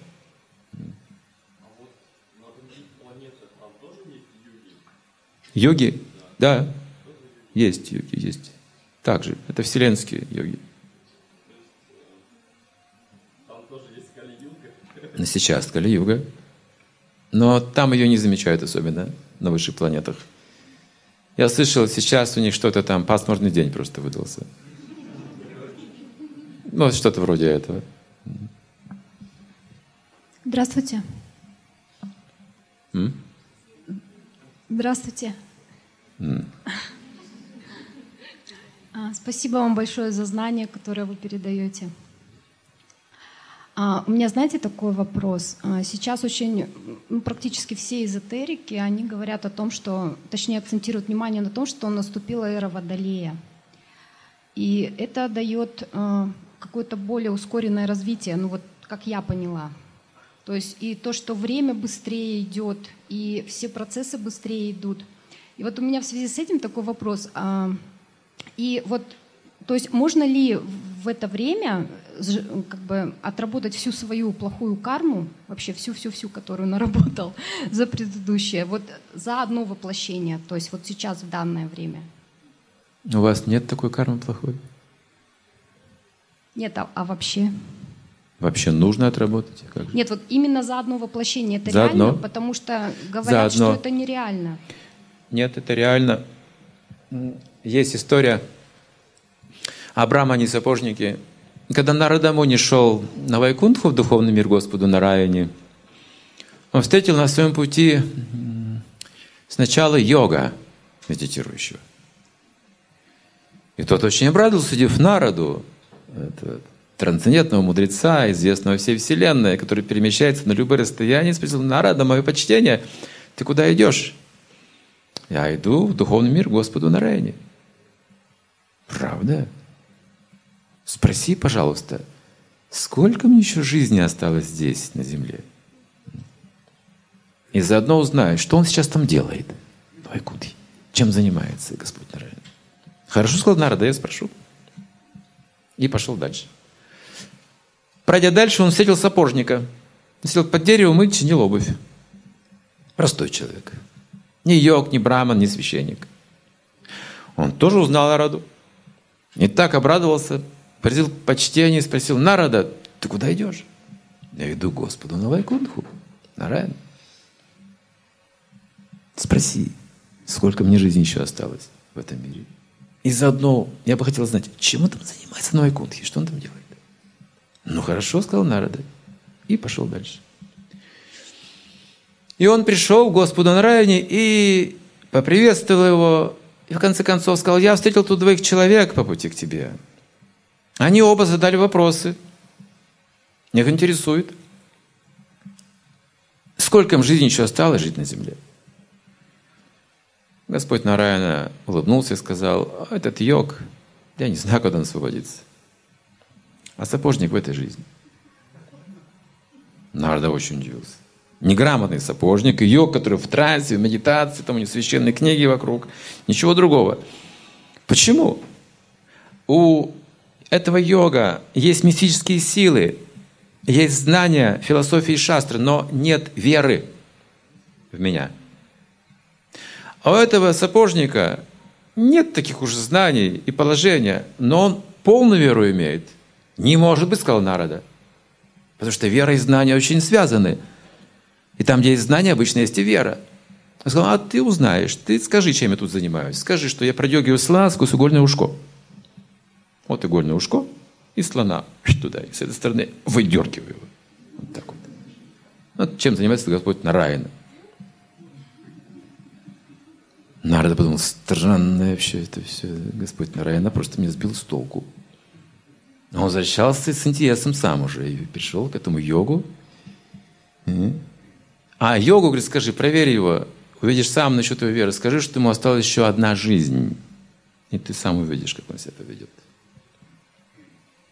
И Нарада пришел, но сколько ты видел Господа Раяну? Да, видел. Ты спросил, сколько мне жизни еще здесь? Одна жизнь тебе еще, кроме этой. Йог так расстроился. Какой кошмар. Еще раз рождаться, еще раз ходить в школу, изучать шастры, медитировать. Боже мой, как надоело все это. Он так расстроился, что даже слезы у него появились на глазах. Он был так разочарован, все мои усилия напрасны вообще. А что он там делает на районе? Он слона продергивал в это время, когда я был сквозь угольное ушко, выдергивал его с той стороны. Что за глупость, сказал Йог? Что ты мне такое говоришь? Как можно в это поверить? Леонардо понял, у него точно нет веры. Но он пошел дальше и нашел нашего сапожника. Тот скачал, Нарада, ты был на Вайкунтхе?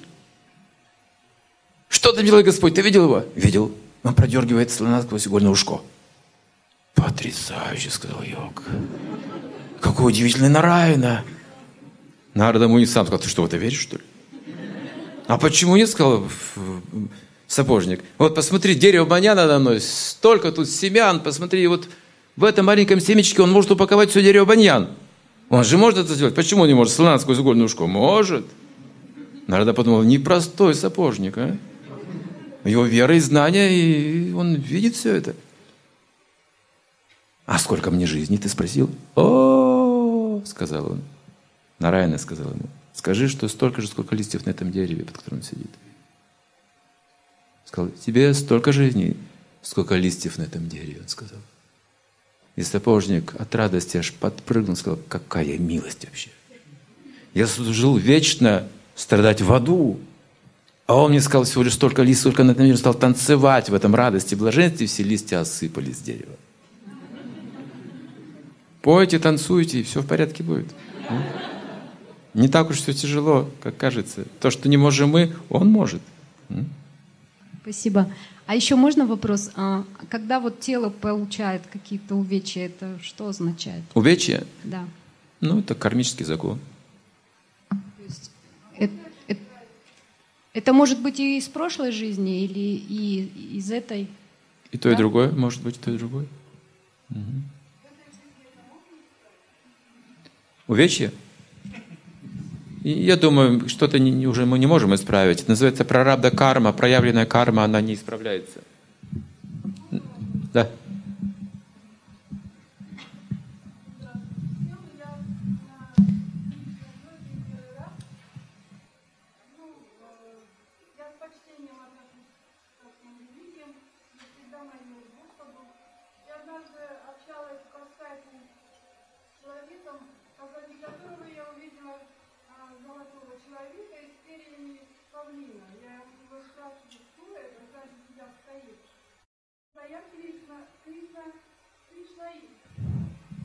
И вы знаете, я увидела, как через скайп прошел через меня Кришна, сзади стал. Я э, Кришна мантры никогда не читала. Он стал сзади меня, вот я сейчас волнуюсь очень. Ну, я как-то это все восприняла, что так и надо. А потом лежу перед телевизором на диване. Стоит эта фигура, держит руку так. Отсюда идет мощный свет на меня, и вокруг меня золотые письмена, вот так. Думаю, что бы это значило? Я начала про Кришну искать, но наткнулась на Махабарату, посмотрела этот фильм 267 серий. Вот пришла сюда и хотела бы вам задать вопрос, что бы это значило? Бхагавадгита есть это у нас? Нет Бхагавадгиты с собой? Женщина специально пришла Бхагавадгиту читать, ей же письмена показали.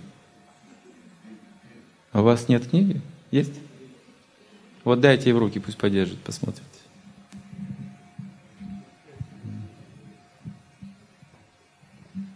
Вам книгу принесут, сейчас посмотрите. Хороший знак. Итак, что у нас? Спасибо большое, Александр Геннадьевич. Потрясающая лекция.